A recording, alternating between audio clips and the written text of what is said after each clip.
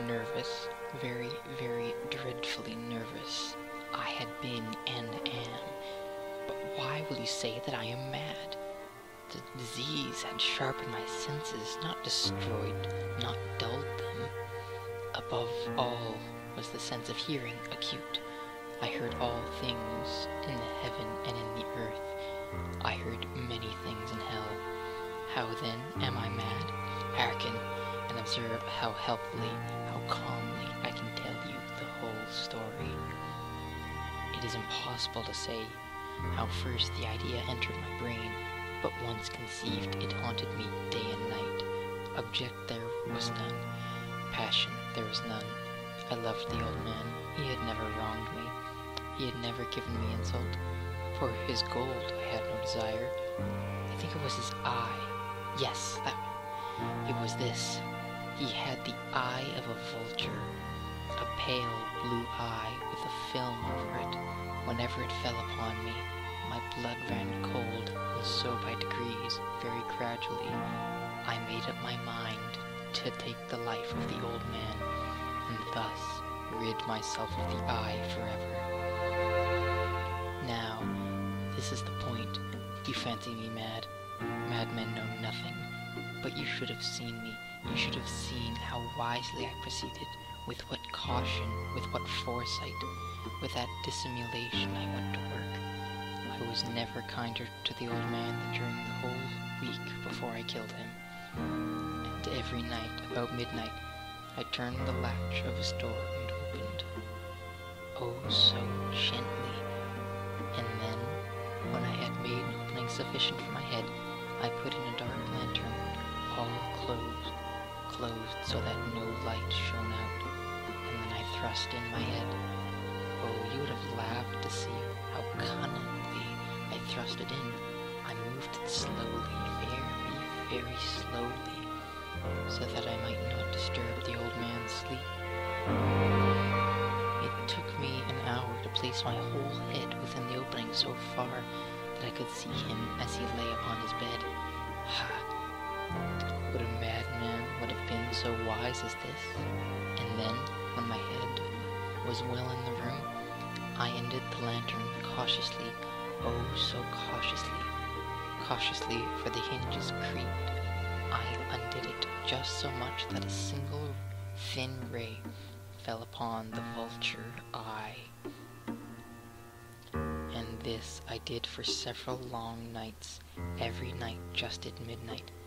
But I always found, but I found the eye always closed, and so it was impossible to do the work.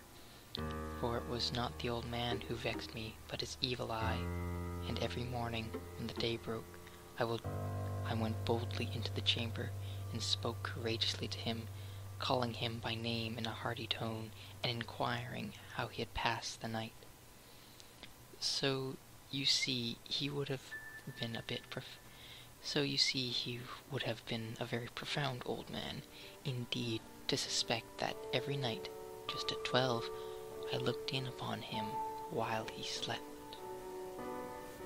Upon the eighth night, I was more than usually cautious in opening the door. A watch's minute hand moves more quickly than did mine. Never before that night had I felt the extent of my own powers, of my sagacity. I could scarcely contain my feelings of triumph. To think that there I was, opening the door little by little, and he not even to dream of my secret deeds or thoughts. I fairly chuckled at the idea, and perhaps he heard me, for he moved on the bed suddenly, as if startled.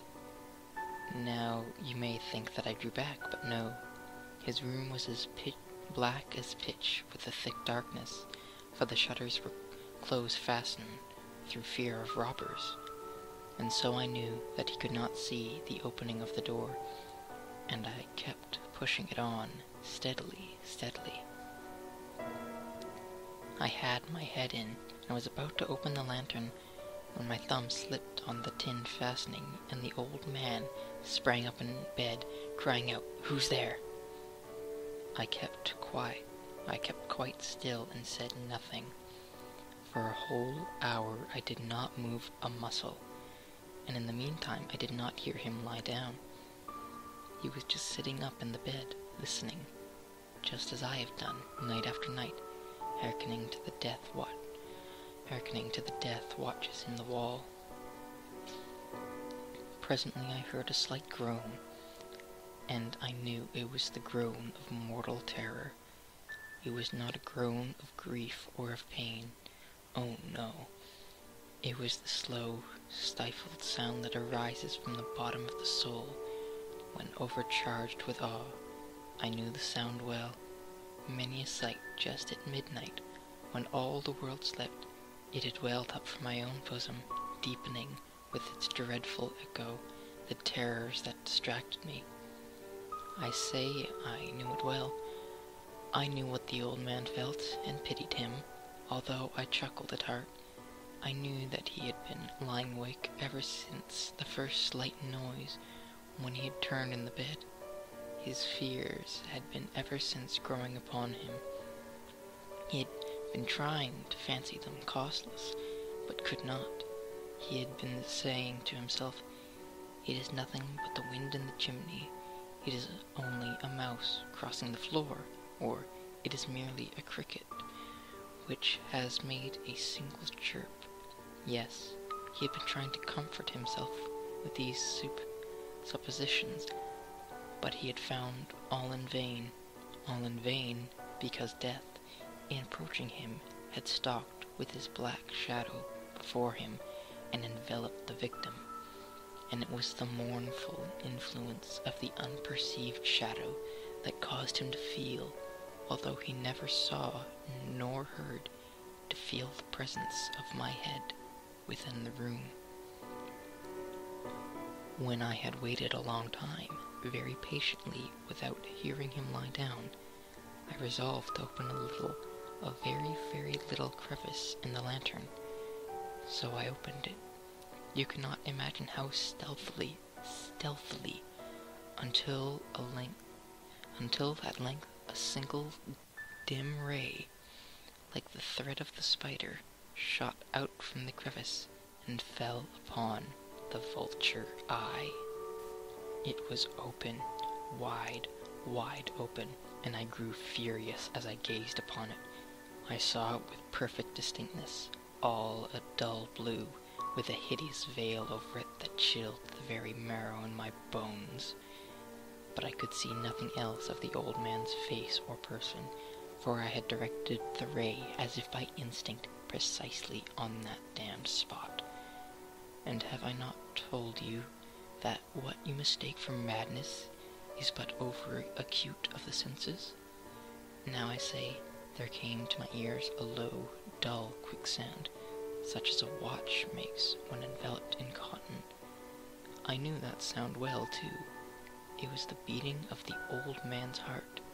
It increased my fury as the beating of the drum stimulates the soldier into courage. But even yet I refrained and kept still. I scarcely breathed.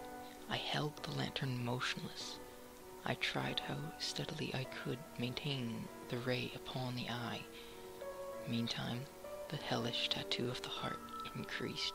It grew quicker and quicker, and louder and louder every instant.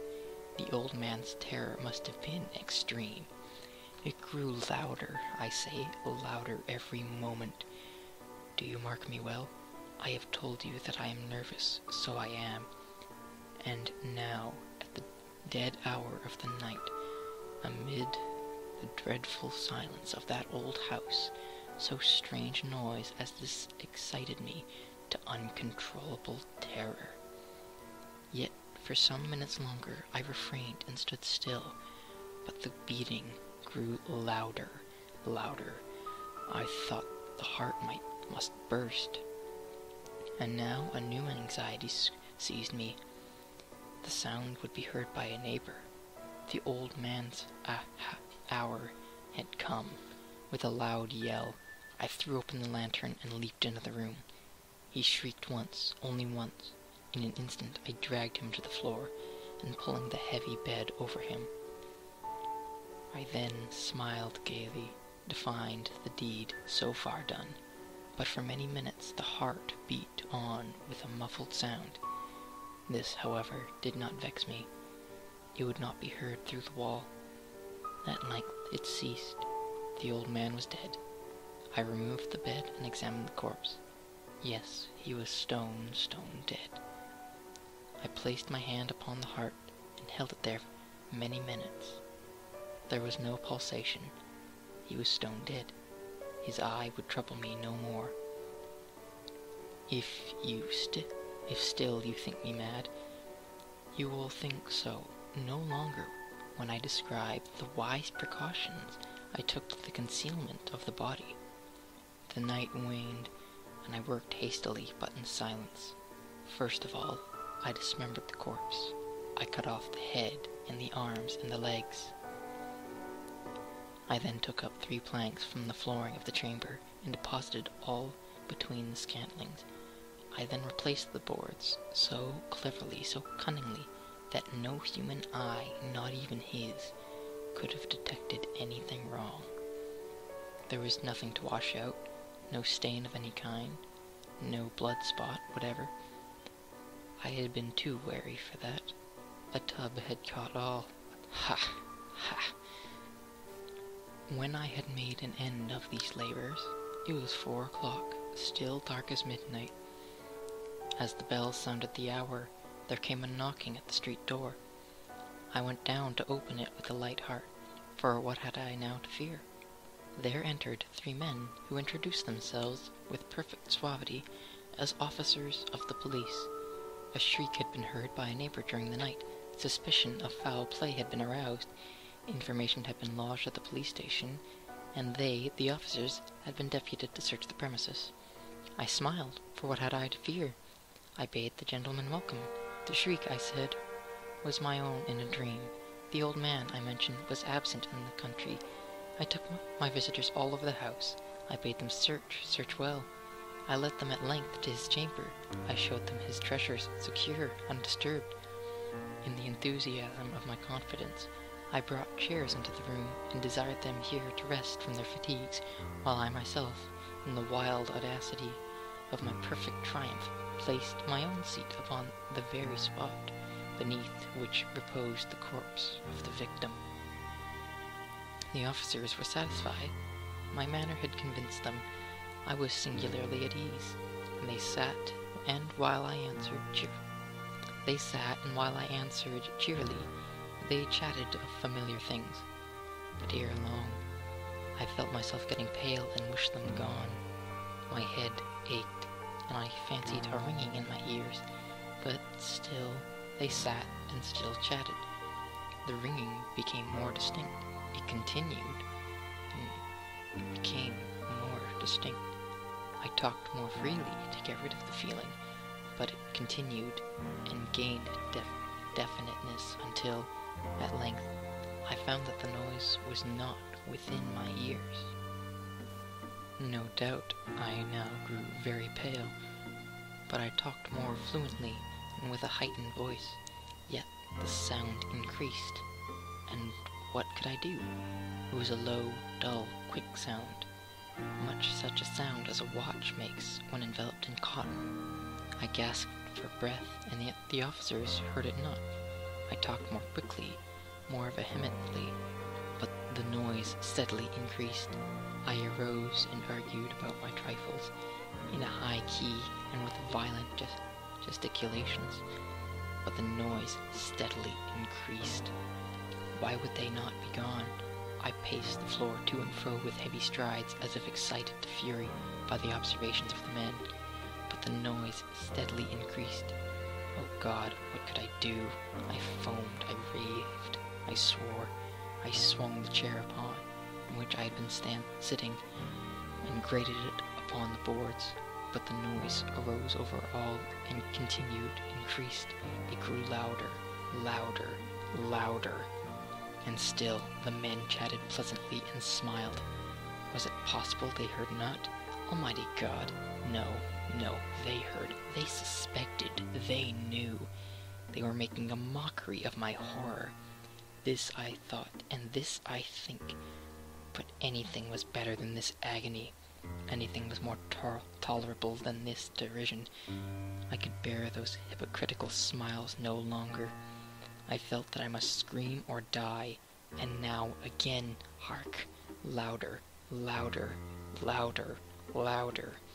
Villains, I shrieked, dissemble no more. I admit the deed. Tear up the planks. Here, here. It is the beating of his hideous heart.